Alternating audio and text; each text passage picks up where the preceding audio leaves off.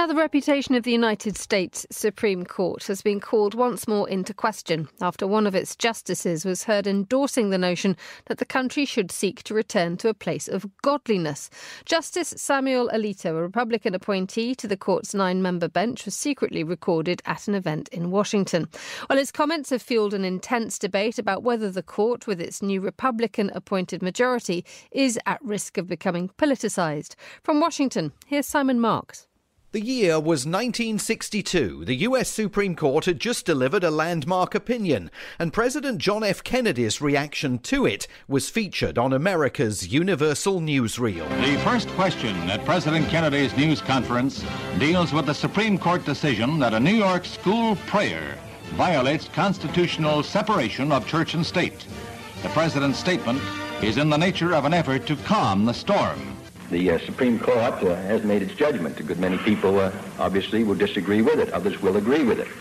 It is uh, important for us, if we're going to maintain our constitutional principle, that we uh, support uh, Supreme Court decisions, even when we may not agree with them. For decades, that was the way things were in Washington. Successive presidents and sessions of Congress tiptoeing carefully to avoid any criticism of the US Supreme Court, the third co equal branch of the American government as laid out in the country's constitution.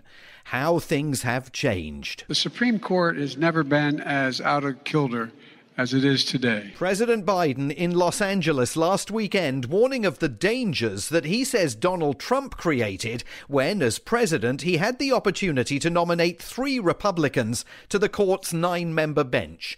That resulted in a conservative majority of justices on the court, and the president says his rival this November must not get the chance to nominate any more. The next president is likely to have two new Supreme Court nominees the idea that if he's reelected, he's going to appoint two more flying flags upside down is really, I, I, I, really mean it. That reference to flags flying upside down goes to the heart of the current scandal buffeting the court. Within the last few weeks, it has emerged that in January of 2021, the American flag flew upside down outside the home of Samuel Alito, one of six Republican nominated Supreme Court justices. The banner was a widely used symbol of Donald Trump's Stop the Steal campaign, falsely alleging the 2020 presidential election was rigged. Alito says the flag had nothing to do with him and was related to a dispute between his wife and some of their neighbors in a suburb just outside Washington. But his wife, Martha Ann Alito, says she wishes she could have gone further. I want a Sacred Heart of Jesus flag because I have to look across the lagoon at the pride flag for the next month. Exactly. And, and he's like, oh, please don't put up a flag. I said, I won't do it because I'm deferring to you. But when you are free of this nonsense, I'm putting it up and I'm going to send them a message every day. That secretly recorded audio was gathered by a left wing activist at a Supreme Court Historical Association dinner last month in Washington.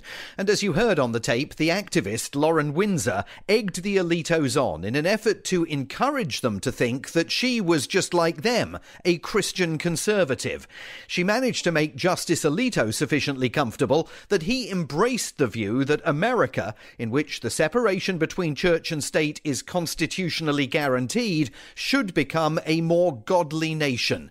Coexistence with those who disagree he called difficult. One side or the other is going to win. There can be a way of living together peacefully, but it's difficult, you know, because there are differences on fundamental things that really can't be compromised. Those comments infuriated Democrats at the White House and on Capitol Hill. Justice Alito should not sit on any of these cases involving Donald Trump.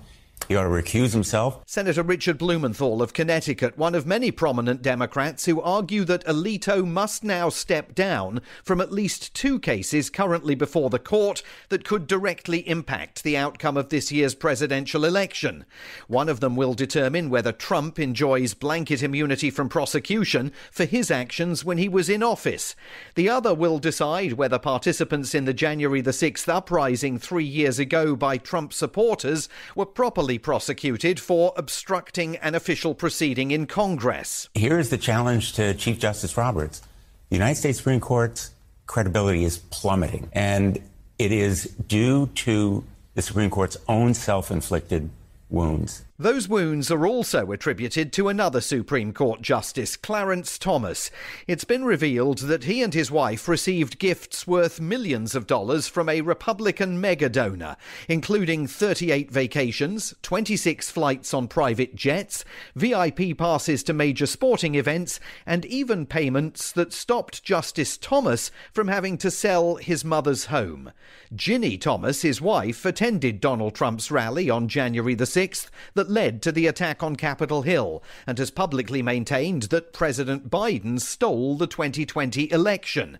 The Democrats' leader in the House of Representatives is Congressman Hakeem Jeffries of New York. The problem that we confront is that the Supreme Court has chosen to conduct itself as if the judiciary is above the law. Republicans argue that is nonsense, and the activities, particularly of the wives of Supreme Court justices, do not necessarily have any bearing on their husbands' interpretation of the American Constitution. I think the Supreme Court justices in general have done a good job.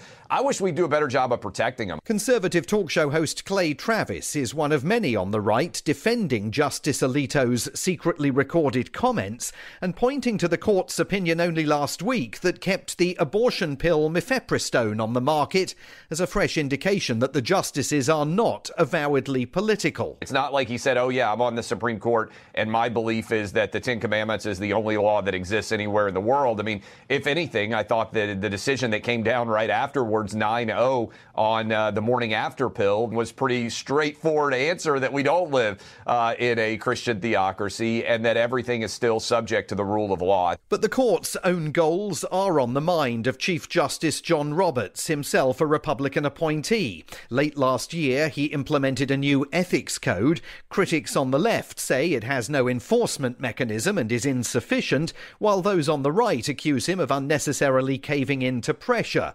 The Chief Justice himself was caught on tape at last month's dinner, along with the Alitos, but was notably far more restrained when activist Lauren Windsor tried to get him to embrace the concept of America becoming a God fearing Christian nation. I don't know that we live in a Christian nation. I know a lot of Jewish and Muslim friends who would say maybe not.